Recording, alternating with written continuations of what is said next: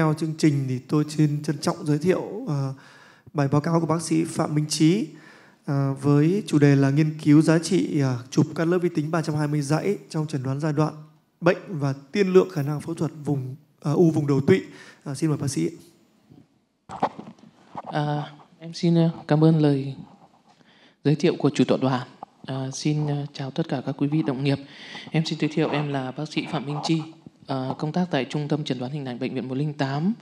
À, ờ, đây là cái đề tài nghiên cứu sinh của em và đã được bảo vệ qua các bộ môn. À, vì thời gian cũng à, hạn chế nên em xin trình bày những cái điểm mà à, tóm tắt nhất. Vâng, xin mời quý vị cùng lắng nghe. Phần trình bày của em gồm có 5 phần. À, thưa các quý đồng nghiệp, thì các khối u vùng đầu tụy là các khối u xuất phát từ biểu mô của đầu tụy, đoạn thấp ống mật chủ nằm trong tụy bằng vate và tá tràng của ở quanh bằng vate. 90% là của các cái khối u vùng đầu tụy này là ung thư biểu mô tuyến. Ở tại Hoa Kỳ thì hàng năm có tới uh, trên 30.000 bệnh nhân tử vong vì bệnh lý u vùng đầu tụy. Lâm sàng của các bệnh lý u vùng đầu tụy này uh, rất là ừ, ừ, cùng các cái triệu chứng mơ hồ và nó không đặc hiệu, dễ nhầm lẫn với nhiều bệnh lý khác nhau có nhiều cái phương pháp chẩn đoán khác nhau để chẩn đoán bệnh lý u vùng đầu tụy. À, nhưng trong đó thì cắt lớp vi tính đa dãy hiện tại thì à, là một cái phương pháp à, có thể giúp chúng ta là chẩn đoán vị trí tổn thương kích thước mật độ à, mức độ xâm lấn di căn hạch di căn xa và dự kiến phương pháp điều trị. Thì cái phương pháp điều trị chủ yếu hiện nay là cái phương pháp uh, phẫu thuật và nó sẽ phụ thuộc vào việc chẩn đoán sớm và chính xác cái giai đoạn bệnh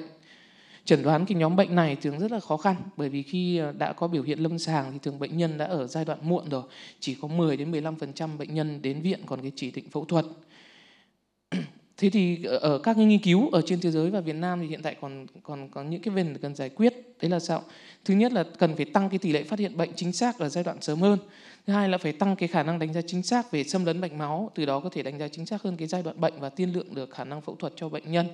Mục tiêu nghiên cứu Ờ, của chúng em ờ, để xác định cái giá trị của chụp các lớp vi tính 320 dãy trong chẩn đoán giai đoạn bệnh và tiên lượng khả năng phẫu thuật của u vùng đầu tụy.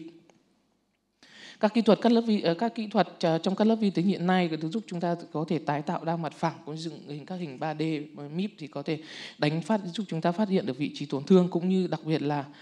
đánh giá được cái danh giới cái độ mức cái xâm lấn của u với, với mạch máu về chẩn đoán thì chúng ta dựa vào lâm sàng các xét nghiệm uh, thường quy cũng như là xét nghiệm chẩn đoán hình ảnh. Thì cắt lớp vi tính thì đây là hiện tại là cái phương pháp sử ờ, sử dụng phổ biến nhất trong chẩn đoán và đánh giá uh, giai đoạn của u vùng đầu tụy uh, uh, từ theo cái hướng dẫn của NCNN thì uh, cần phải yêu cầu là cái chụp cắt lớp vi tính phải có từ 6 CT 64 dãy trở lên và cái độ dày lát cắt là phải từ 0,5 đến 1 mm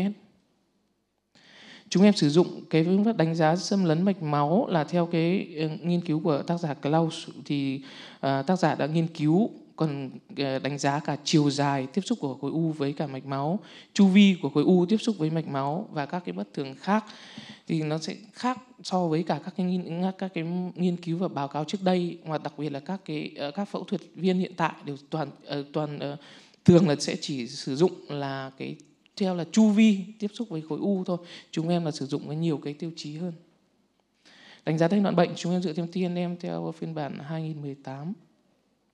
cũng như em trình bày từ trước thì hiện tại trên ờ, nghiên cứu trên thế giới có nhiều các cái nghiên cứu khác. Tuy nhiên là các cái nghiên cứu này cũng còn các cái hạn chế khác nhau. Đối tượng và phương pháp nghiên cứu của chúng em là cái phương pháp được, ờ, là những bệnh nhân được chẩn đoán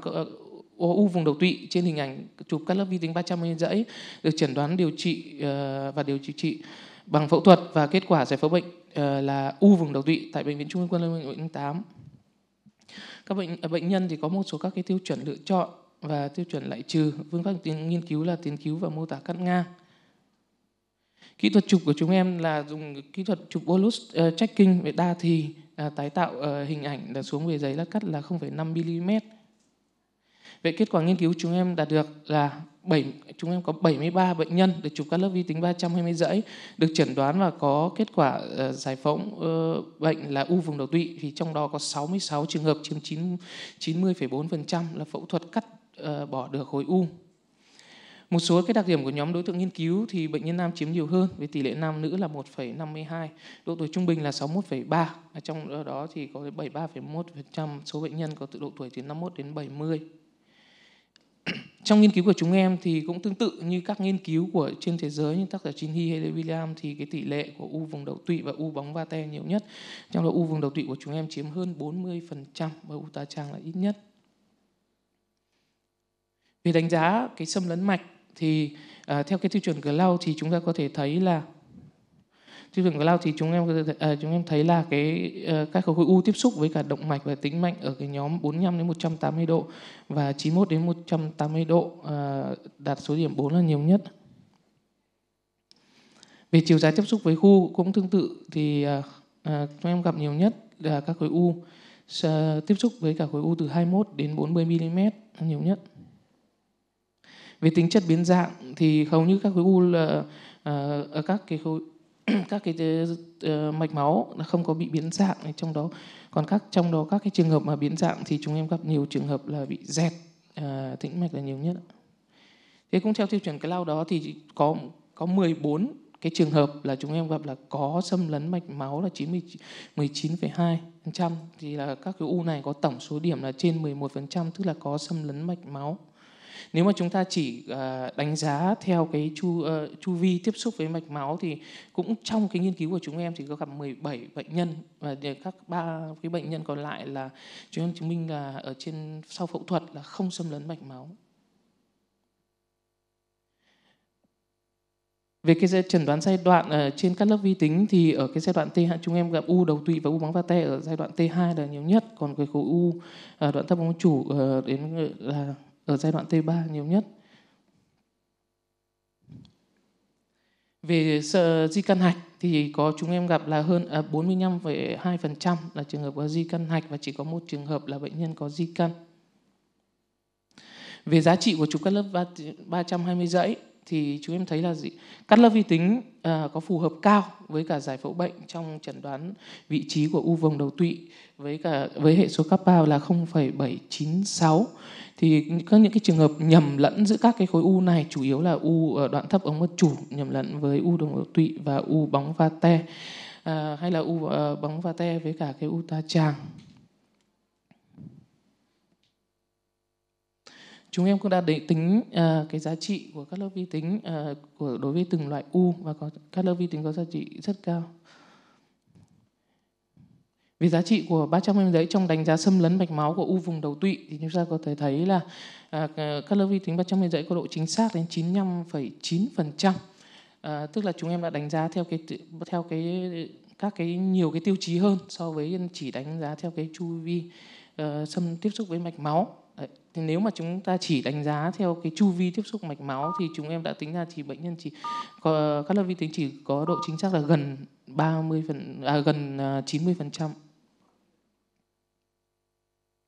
vì đánh giá giai đoạn uh, bệnh thì các lớp vi tính có chỉ có độ uh, phù hợp, mức độ vừa với cả mô bệnh học trong đánh giá xâm lấn à, tại chỗ của khối u vùng đầu tụy. Thì trong đó là các lớp vi tính chẩn đoán giai đoạn T cao hơn và thấp hơn so với giải phẫu bệnh thì trong 10 trường hợp thì chủ yếu trường hợp chúng chỉ nhầm giai đoạn T3 với T2 và T2 với với cả T3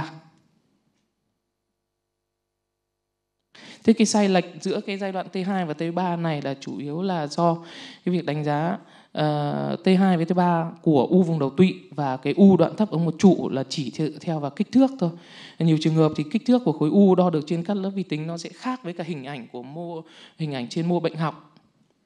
À, còn đối với cái u vòng va te và u tá tràng thì sẽ có sự khó khăn trong việc cái đánh giá cái mức độ xâm lấn đến cái lớp cơ tá tràng hay là đến tụy trên hình ảnh các lớp vi tính.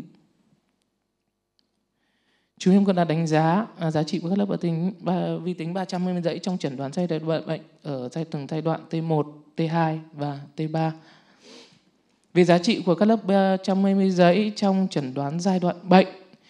à, về hình ảnh di căn hạch thì chúng em gặp à, thì các kết à, chúng em đã có à, độ nhạy 66,7%, độ ờ, đặc hiệu là 72,7% và độ chính xác là 71% và đã, đều cao hơn các cái tác giả uh, nghiên cứu trước đây và cũng khá là gần gần gần thời gian gần đây chúng ta đã xác định được là tỷ lệ của di căn cài hạch này không phụ thuộc vào vị trí của khối u. Và cái tiêu chuẩn mà chúng ta hay sử dụng ờ, một trong những tiêu chuẩn sử dụng đó là cái đường kính của hạch là trên 10 mm thì đối cũng có ừ, trong nghiên cứu của chúng em thì cái kích thước trung bình của hạch di căn là 9,52 mm và cũng có nhiều tác giả khác đã đánh giá là cái hạch này là đều dưới mm. Cắt lớp vi tính đã chẩn đoán uh, phù hợp uh, mức độ vừa với cả giải phẫu bệnh và chẩn đoán uh, giai đoạn bệnh cao hơn so với giải phẫu bệnh trong 10 trường hợp và thấp hơn so với cả giải phẫu bệnh trong 15 trường hợp và chúng ta cũng thể thấy sẽ uh, chủ mức độ, uh, sự nhầm lẫn chủ yếu là ở giai đoạn 2 và giai đoạn 1 và giữa giai đoạn 1 thành giai đoạn 2. Cái điều này là do sự nhầm lẫn từ giai đoạn T như chúng ta đã bàn luận từ trước. Từ giai đoạn à, T2 và giai đoạn T3 nó sẽ dẫn đến ảnh hưởng đến cái giai đoạn à, giai đoạn à, bệnh. Chúng ta đã đánh giá cái giá trị của trong từng giai đoạn 1, giai đoạn 2 và giai đoạn 3 và hiện tại thì ở giai đoạn 3 vẫn có vẫn là có giá trị cao nhất. Em cho đến slide kết luận đi. Vâng. À, đây là cái này gần cuối ạ.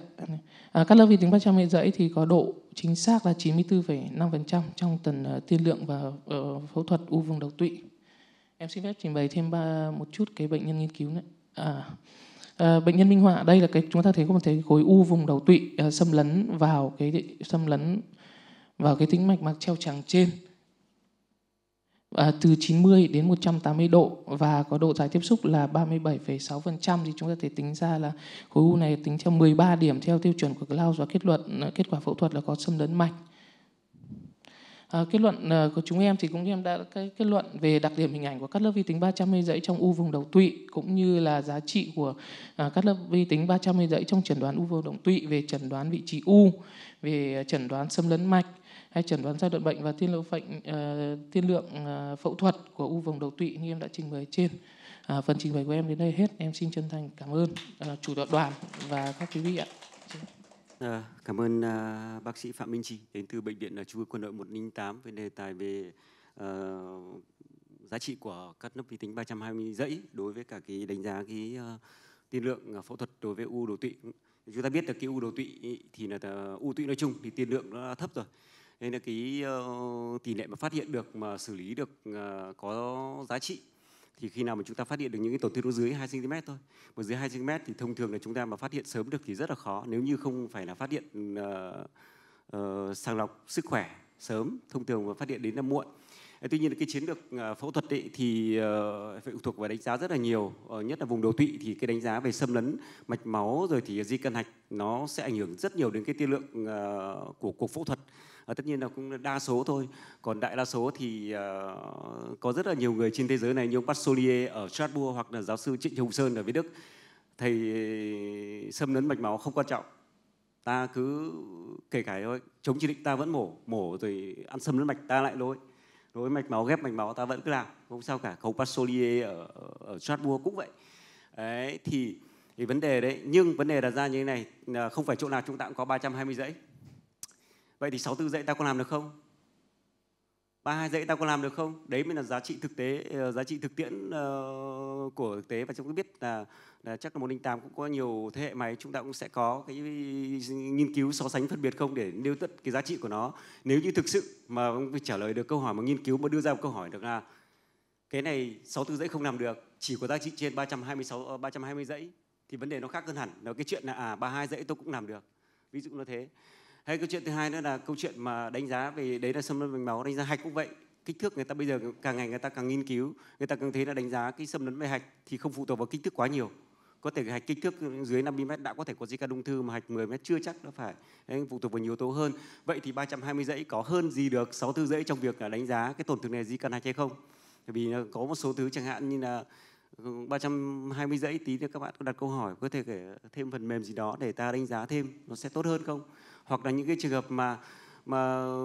viêm tụy mãn nó xâm lấn rất là nhiều mạch máu thâm nhiễm bao quanh mạch máu đấy thì chúng ta có thể là nó, nó là viêm mãn thôi không phải là ung thư. Vậy trường hợp đấy thì 320 dãy có phân biệt được không? Hơn so với cả 64 dãy không? Hay là cũng như nhau thôi? Thì đấy là giá trị thực sự uh, của uh,